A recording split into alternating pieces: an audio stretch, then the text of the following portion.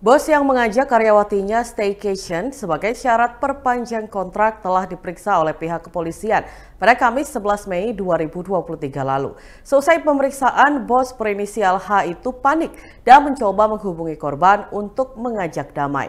Namun korban yang berinisial AD memblokir nomor bosnya sehingga H mencoba menghubungi pacar AD. Hal itu terungkap saat Wakil Menteri Ketenagakerjaan yakni Afriansyah Nur bertemu dengan Ade. Afriansyah mengatakan Ade sempat bercerita dengan pihaknya terkait kronologi kasus pelecehan seksual itu.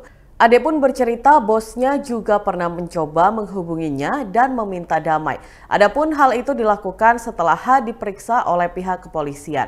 Namun sayangnya H tidak bisa menghubungi Ade lantaran nomornya sudah diblokir. Oleh sebab itu H mencoba menghubungi kekasih Ade. Dalam pernyataannya, H meminta berdamai dari kasus yang kini sedang menjadi sorotan publik. Namun kekasih maupun pihak Ade tidak merespon pesan dari H. Pasalnya, Ade menutup pintu damai dan berniat melaporkan kasus tersebut untuk mencari keadilan.